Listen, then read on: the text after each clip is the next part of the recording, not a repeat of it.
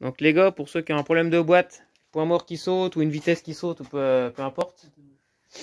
Sur un quad Pantera, où il me semble que les nitrocarbones sont les mêmes, en fait ça peut arriver, souvent c'est vers l'étoile de sélection en fait, c'est même pas dans la boîte de vitesse. Là en l'occurrence, ce qui était pété, derrière l'étoile, de sélection qui est entraînée par, euh, par l'espèce de rocher là, en fait derrière l'étoile, il y a des petits pions.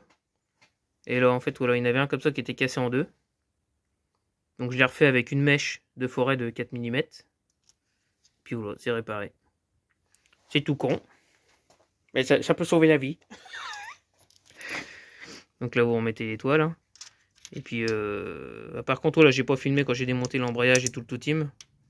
Puis là j'aurais besoin de mes deux mains donc je vais arrêter maintenant. Euh, voilà donc en fait on peut serrer, ça verrouille. Voilà. Et en fait, voilà, les petits pions, ils servent quand on passe les rapports.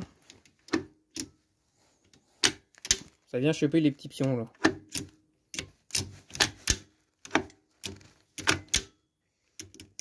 Et donc là, celui-là, bah, il était cassé. Donc du coup, euh, sur celui-là, par contre, le point mort ne tenait plus. Les vitesses passaient tout le temps toutes seules. Et un coup, j'ai eu un problème sur une 125. Et pareil, une dirt, c'était l'inverse. C'était la troisième vitesse qui sautait. C'est parce que c'était le petit pion, euh, le petit pion d'une autre qui était cassé, ou moi c'était simplement l'étoile qui était desserrée. Donc voilà, donc pour démonter ça, donc euh, avant, il faut démonter l'embrayage et ça, donc là bah, je vais remonter dans le, dans le sens inverse.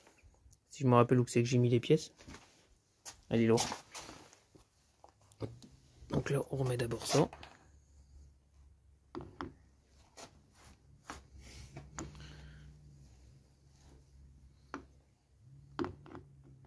C'est qui écran.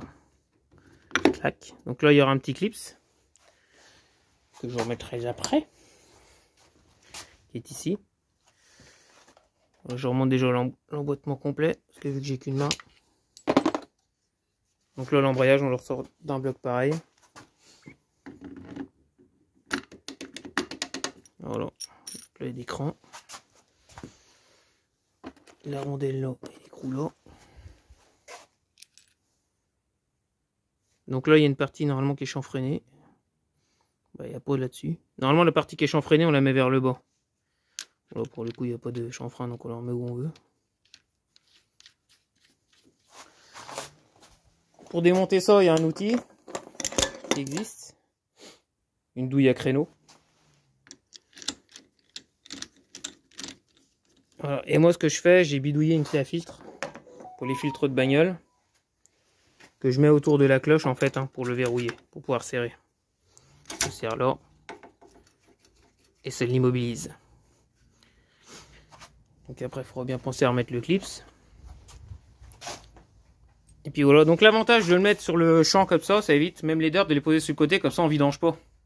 Lui, elle coule dans le carter du dessous. Et là, en fait, on n'a rien vidangé du tout. Puis voilà.